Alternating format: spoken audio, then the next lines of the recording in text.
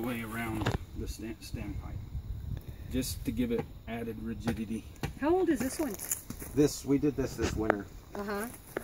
It doesn't have a lot of sediment buildup in it. No, it doesn't. I mean, it's and they're not going to. Uh-huh. Uh, the water in the ditch takes uh, one tenth per hundred for just concrete to run. The water to run in a concrete ditch. okay. Yeah, yeah, that's like my minimum slope. Yeah. Yeah. So, and that's what we pretty well do with two tenths. Well, we won't put our gates further than 200 feet apart. Uh huh. Yes. So two tenths is what Well, we call a drop, more. more or less. Right. There's some situations where it can be a tenth and a half if it's 150 foot. Jeremy and I, Right. Jeremy and I were You know, talking about that just earlier.